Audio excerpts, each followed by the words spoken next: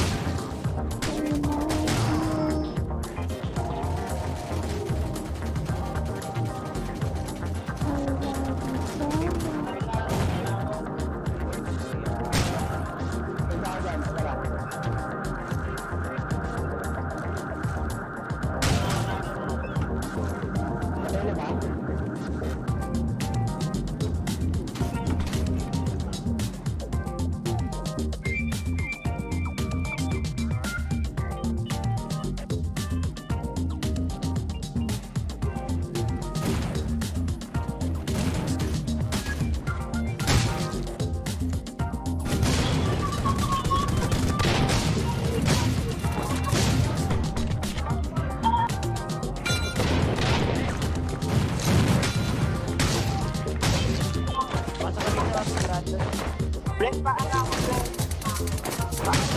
Namamatay na ako.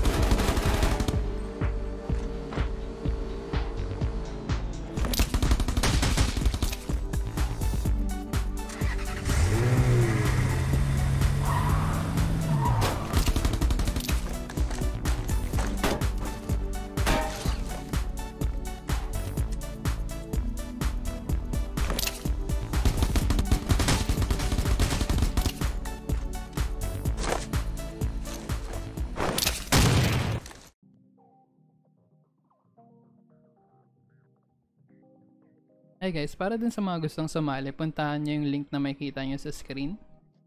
O kaya click nyo na lang siya sa description sa baba. Tapos, mapupunta kayo dito sa website na to. So, may mga fill upan kayo dito, konti lang naman. In-game name, public user ID. Pinaka-importante, itong download link. Siyempre. Tapos, may mga rules and guidelines dito sa baba. Sundan nyo na lang. So, itong public user ID, importante din to. Makita nyo siya dun sa ano, sa profile nyo. So, para hindi ako magkamali ng ma-add na tao kung sakasakaling mananalo siya, ah, pakifill upan to ng tama. Okay? So, kung meron kayong mga astig na mga highlights, mga clips, outplays, 1 versus 5, 1 versus 4, kung ano man, submit nyo dito. Kayo bahala kung anong recording software yung gagamitin nyo. Pero ako, ginagamit ko kasi itong Bandicam. So, free lang siya. Pero may limit yung ano, yung video, 10 minutes lang. Tapos, itong OBS, ginagamit ko din to. So, may mga tutorial naman yan online. Ah, check nyo na lang kung paano siya gamitin. Tapos, siguraduhin nyo na .mp4 yung file.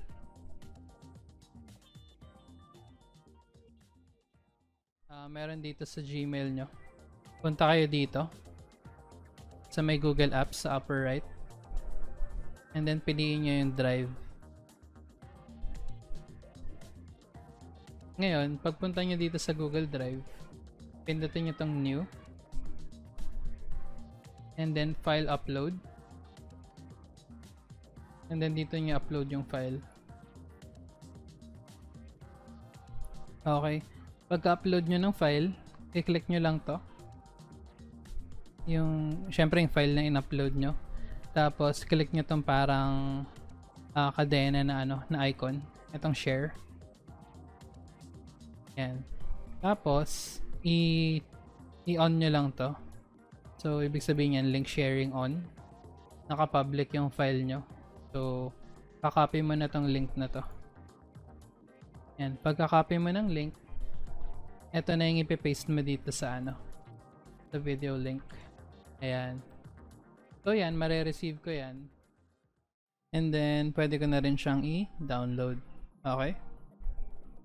Kaya galingan nyo yung paglalaro nyo at pag-record ng mga outplays. Antayin ko yung video nyo guys ha. Thanks for watching and uh, peace out.